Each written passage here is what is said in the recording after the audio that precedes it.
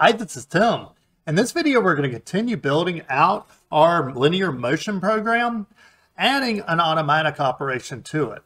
Just to recap what we've done so far, in our introduction video, we added a modified version of our wiring enough to get started exercise where we wired the buttons, switches, and lights to our Allen Bradley Compact Logix PLC. Then we integrated the Allen Bradley Compact Logix PLC and the Yamaha TS-SH servo drive using their add-on instruction, which is really simple to use. In fact, there are no hardwire connections between our PLC and our servo controller.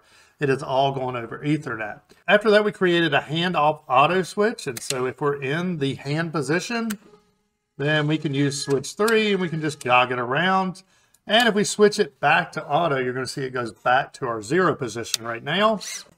And then we added our analog sensor. Now this is actually unnecessary, but it did give us a little bit of feedback and you'll notice the green light occasionally does go out during motion. And if we go to hand and I start jogging, you'll see it goes out. And then when I stop, it catches up. And that's because this sensor here, there is some filtering on, so it doesn't immediately check, but it is giving us an external position feedback. We did a little housekeeping in the last video because we had a few bits out there straggling that were going to affect us on power up. So in this video, I think we're ready to do an auto operation with this. And so what I think we're going to do is we're going to make it where it'll start in the zero position. And then it's going to run out, we'll say to 100 millimeters at a very slow speed.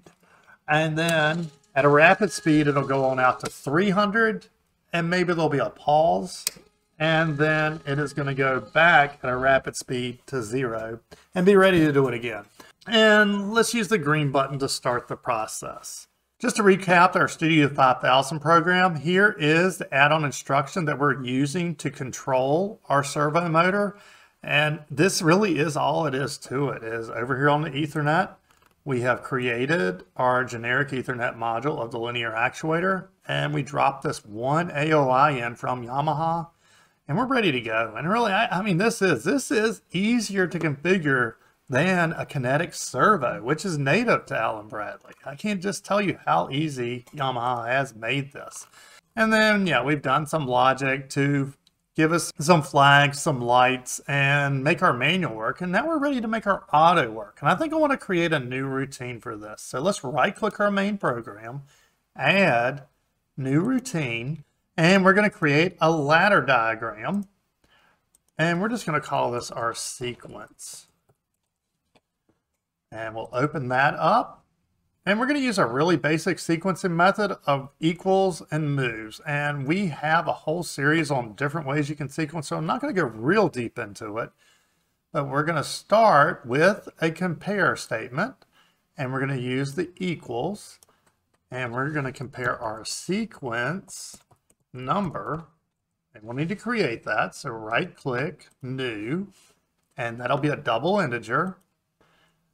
And then in this case, we want our sequence number to be zero.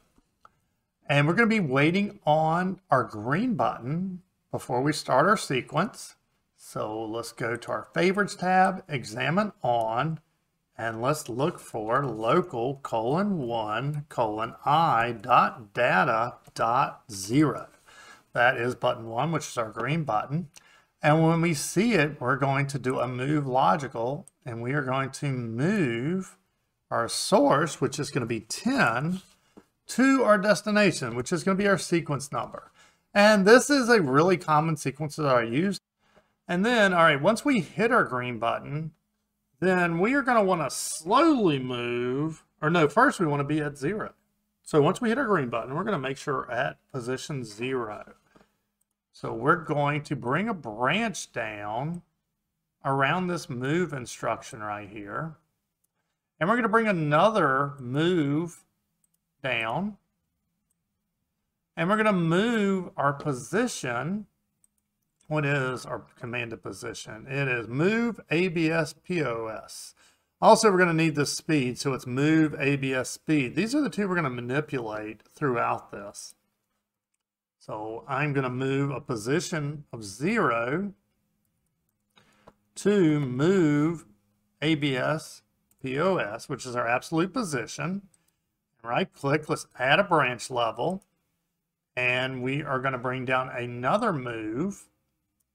And this is going to be 100 for 100%. And that's going to be to our move ABS speed.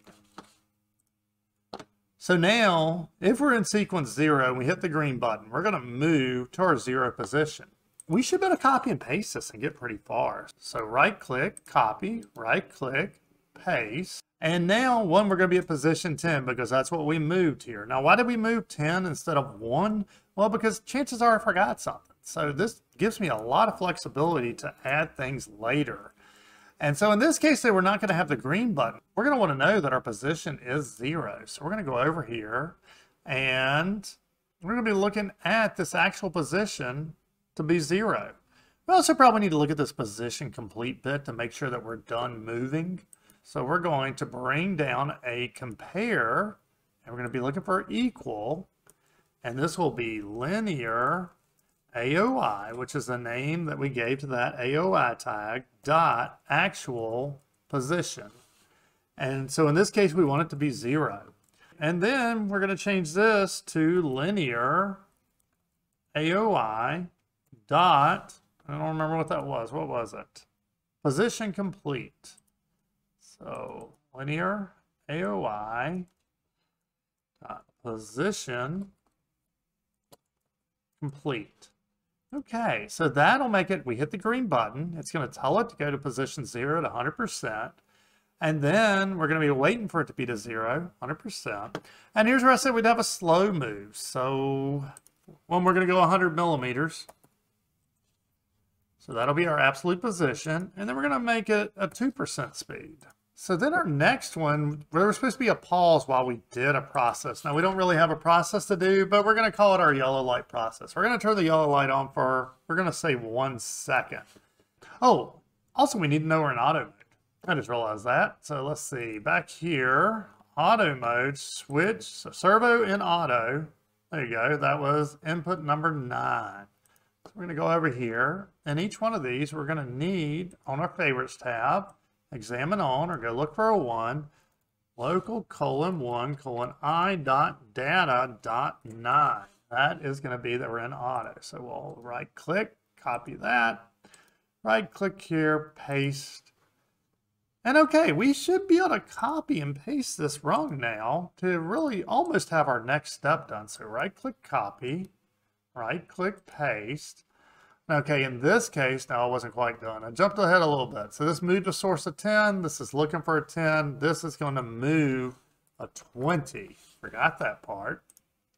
So we're going to want to be at position number 100 now. And in that case, we're just going to increment by 10 now. So this is going to be 30. So once we're in that position, we're supposed to do that yellow process.